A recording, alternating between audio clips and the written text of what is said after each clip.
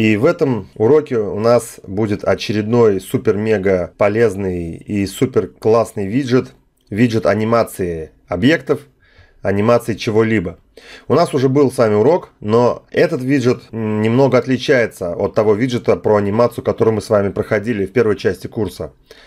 Дело в том, что мы можем на любой объект, будь это какой-то элемент Adobe Muse или картинка, а, мы можем наложить до трех эффектов анимации, чтобы они шли последовательно. Вот, например, вот этот прямоугольник у меня трясся, потом вот так двигался, потом немного увеличился. Вы это видели. Или анимация, например, вот сейчас от, нижняя часть отваливается и она больше не показывается. По большому счету анимация проиграла, и этот прямоугольник должен оказаться наверху. Так и можно сделать. Но можно сделать так, чтобы он отвалился и не появлялся.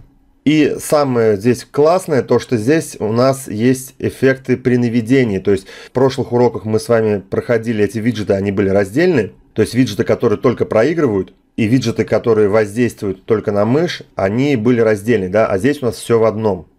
Поэтому я считаю, что этот виджет достоин внимания. Давайте перейдем в Adobe Muse и посмотрим настройки данного виджета. Здесь у нас вся анимация задействуется так. Нам не нужно ничего писать в ссылках. Здесь все также основано на стиле графики. Давайте зайдем в настройки виджета. Вы видите, что их тут в принципе не так уж и много. И что мы делаем? Смотрите, элемент класс. Вы вот это значение копируете, да?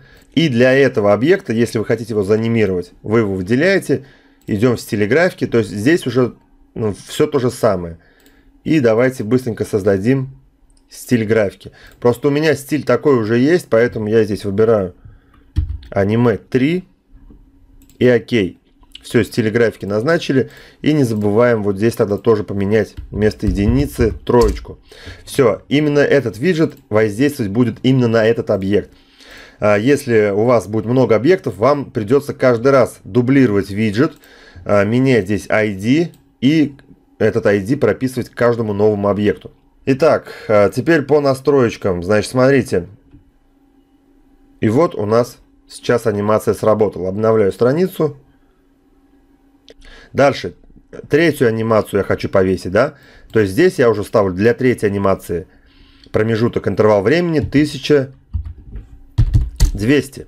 И выбираю анимацию. Видите, все достаточно просто. И пока оставим как есть. Пройдем в браузер и смотрим. Раз анимация, два анимация и три анимация. Все очень круто. Дальше очень классный момент. Вот эта опция. Смотрите. У нас по умолчанию стоит вот так, да? Если мы выберем On Hover, значит анимация сработает только при наведении мыши. Посмотрите, какой просто у нас мега виджет. Смотрим. Никакой анимации нет. Навожу мышь. И пошла анимация. Причем все три эффекта.